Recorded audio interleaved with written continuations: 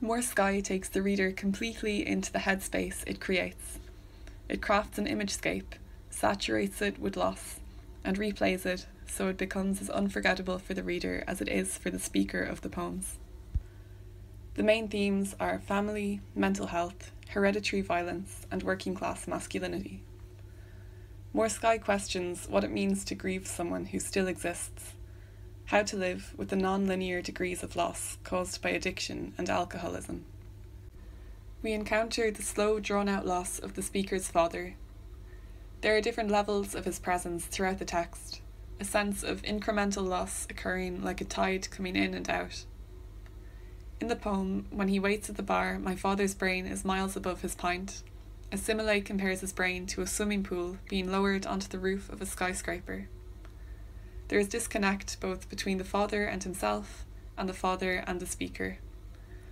The short lines run into each other without punctuation, suggestive of a mind or a self slipping through the lines. More Sky is divided into two sections. The variety in form of the first half of the book shows the various manifestations of grief. Some of the poems are sparse, some are overwhelming, comprised entirely of questions blocked together. In the second section, Skydock, each poem begins with the line, Once upon a time when suicide was. The childlike once upon a time jars with the violent intrusion of suicide, evidencing a childhood haunted by domestic violence and the slow erosion of a father's presence. Suicide is repeated so often, linked with so many images, that it takes on a numbing effect and becomes hard to pin down. Its repetition becomes a presence taken as a given but never fully understood. Repetition is a key technique in this volume, which revolves around repeated image and soundscapes, like a headspace calling back again and again. Trauma is almost always in view, and the poems act like a camera, refocusing from different angles.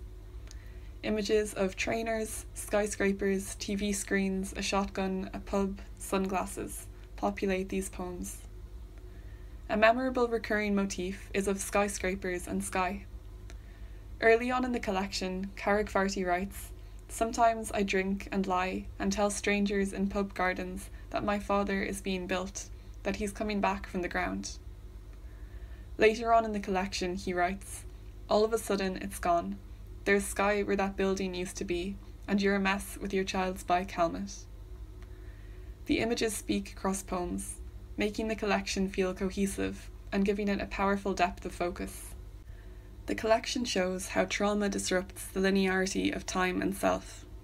The speaker's father has decided, is deciding, will decide, in a backward sequence showing how he is repeatedly pulled back to relive the trauma.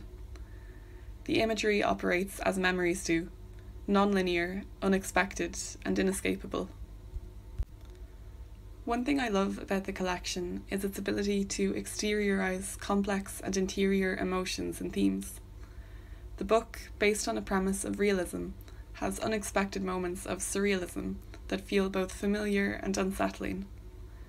In one poem, suicide was a forest I planted, and instead of trees grew every person I ever hurt, packed into a school hall on a Tuesday. Carrick Varty also pushes the reader to project their own interiorities onto external images. In one poem, the speaker is asked to project their own lives and pains onto the image of the water. What was your water's first thought this morning? What was the last thing it drowned? More Sky is deeply aware of the complexities of family. Trauma binds the family together. Sadness is likened to a tree's collection of year rings hinting at generational trauma rooted in the past, and how sadness is something that grows with the speaker. One of the most striking metaphors is in Parks, which imagines a pigeon in a public park as the father's mind, back for a weekend. The speaker believes the pigeon is his father's mind because no one else has spotted it, knowing that if I know our father, the pigeon will be gone by morning. This poem is quietly heartbreaking in its acceptance of loss whilst holding on to love. The poems build on each other, layering so many meanings on loss that it becomes almost unbearable. But they are not without moments of light, of surfacing for air.